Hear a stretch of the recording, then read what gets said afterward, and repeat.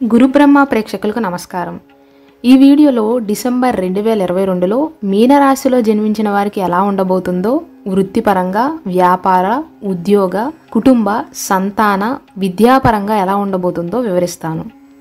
వీడియోలోకి వెళ్ళే ముందు మన గురుబ్రహ్మ ఛానల్ని ఇంకా సబ్స్క్రైబ్ చేయని వారు ఉంటే దయచేసి సబ్స్క్రైబ్ చేయండి. ఇక అసలు విషయానికి వస్తే పూర్వభాద్ర నక్షత్రంలోని నాలుగో పాదం ఉత్తరాభాద్ర నక్షత్రంలోని అన్ని పాదాలు రేవతి నక్షత్రంలోని అన్ని పాదాలలో జన్మించిన వారందరూ కూడా ఈ మీనరాశికి చెందుతారు. ముఖ్యంగా ఈ మీనరాశి వారి కెరీర్ పరంగా ఎలా ఉండబోతుందో చూసుకుంటే కెరీర్ పరంగా ఉద్యోగస్తులకి ఈ నెల చాలా అనుకూలంగా ఉంటుంది. ఈ నెల ప్రారంభంలో కొంచెం చిరాకుగా ఉన్న మూడవ తారీఖు తర్వాత నుండి మంచి ఫలితాలను పొందుతారు.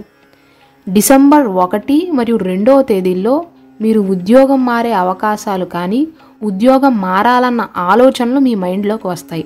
అయితే మూడవ తేదీన మీ పదో ఇంట్లో అంటే వృశ్చిక రాశిలోకి బుధుడు మరియు ఐదవ తేదీన శుక్రుడు సంచరించడం వల్ల మీరు పనిచేసే కార్యాలయంలో అద్భుతమైన ఫలితాలను పొందుతారు.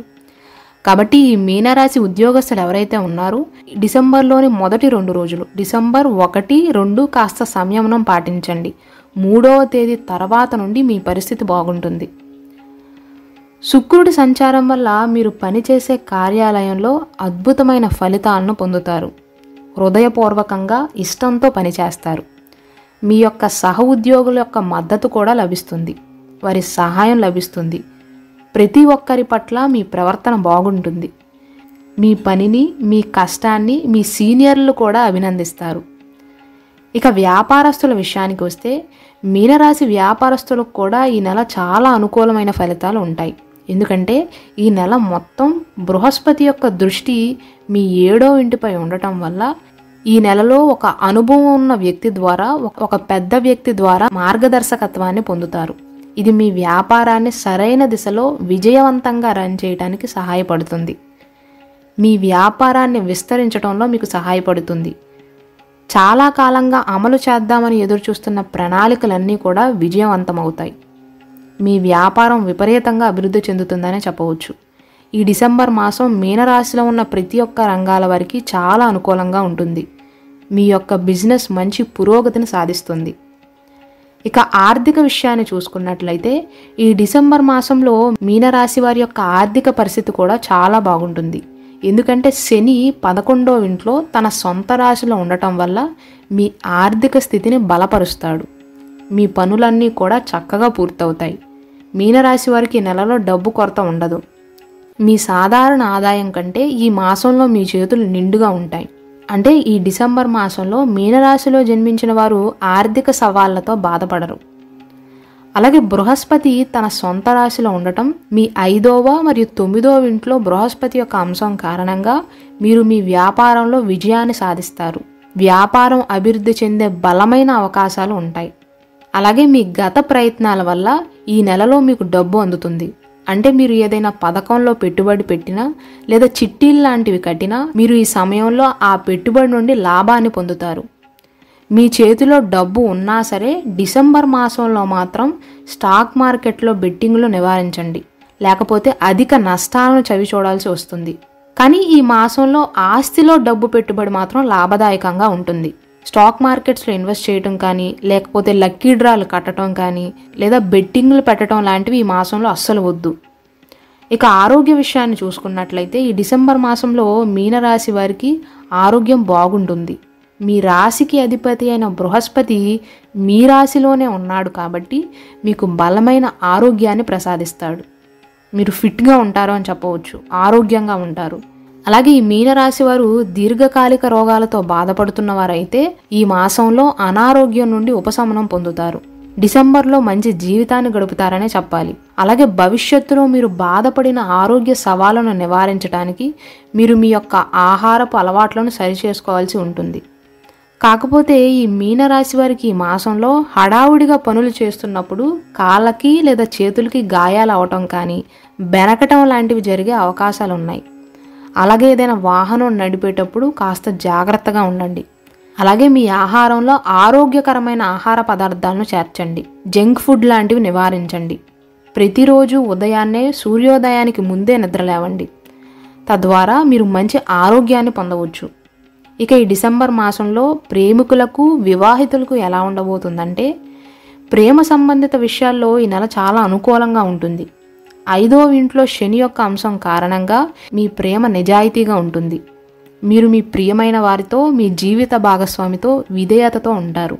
అలాగే బృహస్పతి యొక్క అంశం ఐదు ఏడు తొమ్మిదో ఇంటిపై ఉంటుంది కాబట్టి దీని కారణంగా మీరు జీవిత భాగస్వామితో మంచి సమయాన్ని సంతోషకరమైన సమయాన్ని గడుపుతారు. ఈ మాసంలో మీనరాశి జాతకులు వారు ప్రేమించిన వారి కుటుంబంలో ఒప్పించి వివాహ ప్రయత్నాలు కూడా చేసే అవకాశం ఉంది. ఏడవ ఇంటిపై బృహస్పతి యొక్క అంశం కారణంగా వైవాహిక జీవితంలో ఒత్తిడి తక్కువగా ఉంటుంది ఈ మాసంలో.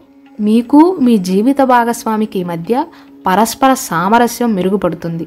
ఒకరికొకరు ప్రేమ అంకిత భావాన్ని కలిగి ఉంటారు. మీ ఇరువురు కుటుంబ బాధ్యతలను పంచుకుంటారు అని చెప్పవచ్చు. సానుకూల కుటుంబ వాతావరణం ఉంటుంది. ఒకరిపై ఒకరికి విశ్వాసం పెరుగుతుంది. ఈ మీనరాశి జాతకులు డిసెంబర్ ముందు వరకు ఏదైనా గొడవల వల్ల మీ జీవిత భాగస్వామితో దూరంగా ఉంటున్నట్లయితే ఈ డిసెంబర్ మాసంలో సానుకూల ఫలితాలు ఉంటాయి. మీ జీవిత భాగస్వామి మరియు మీరు కలిసే అవకాశాలు ఉంటాయి. అలాగే పిల్లలకు సంబంధించిన విషయాలకు కూడా ఈ మాసం అనుకూలమైన సమయం. మీరు సంతానాన్ని పొందడానికి చాలా కాలంగా ఎదురు చూస్తున్నట్లయితే దానికి సంబంధించిన కొన్ని వార్తలను ఈ నెలలో మీరు వింటారు. ఆల్రెడీ సంతానాన్ని పొందిన మీనరాశి జాతకులు ఈ డిసెంబర్ మాసంలో వారి పిల్లల విషయంలో పురోగతిని గమనించి చాలా సంతోషంగా ఉంటారు. ఇక కుటుంబ పరంగా ఎలా ఉంటుందో చూసుకుంటే ఈ డిసెంబర్ రాశి ఫలాల ప్రకారం ఈ నెల రాహు రెండో ఇంట్లో ఉంటాడు. దీని కారణంగా కుటుంబంలో కొన్ని సమస్యలు ఉండవచ్చు. మీ నాలుగో ఇంటి అధిపతి అయిన బుధుడు తొమ్మిదో ఇంటి నుండి పదో స్థానానికి సంచరిస్తున్నప్పుడు మీ నాలుగో ఇంటిపై పూర్తి దృష్టి ఉంటుంది కాబట్టి ఇది మీ కుటుంబ సంబంధిత సమస్యలను క్రమంగా పరిష్కరించేలా చేస్తుంది. కుటుంబ సభ్యుల మధ్య సామరస్యాన్ని మెరుగుపరుస్తుంది. సానుకూల కుటుంబ వాతావరణాన్ని సృష్టిస్తుంది అని చెప్పవచ్చు.